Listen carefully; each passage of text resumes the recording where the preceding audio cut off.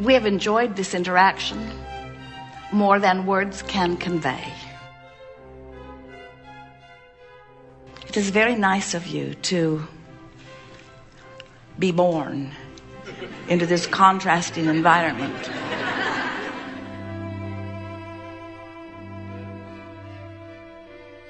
and put up with the contrast that inspires such expansion. And it's lovely to see you come into conscious awareness and ownership of the important part in this expanding universe that you play.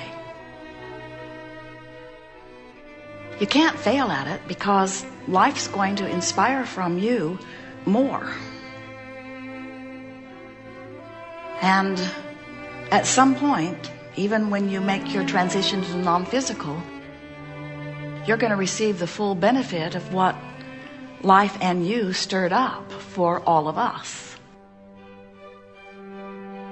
This gathering is always about helping you to find that alignment so that prior to your croaking, you can receive the benefit of your exposure to life.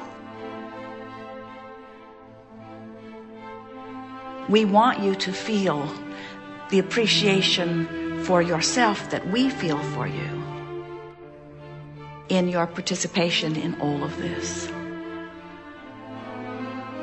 Inside the vortex, where the expanded version of you is, there is a knowledge of value that can't be heard with words, it can only be felt. It's what you want to call worthiness, but it's the absolute absence of resistance. It's that high flying feeling of oneness with source, with goodness.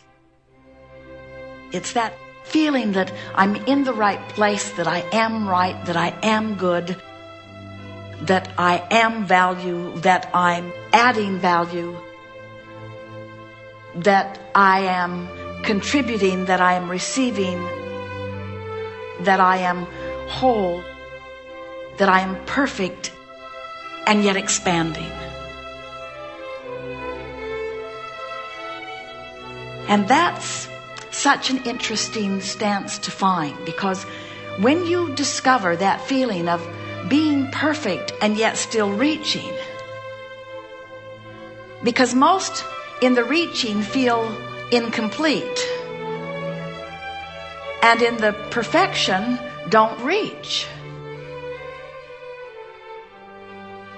But when you're in the place that you know your worthiness, but you're still reaching for more, now you feel like you felt when you decided to come.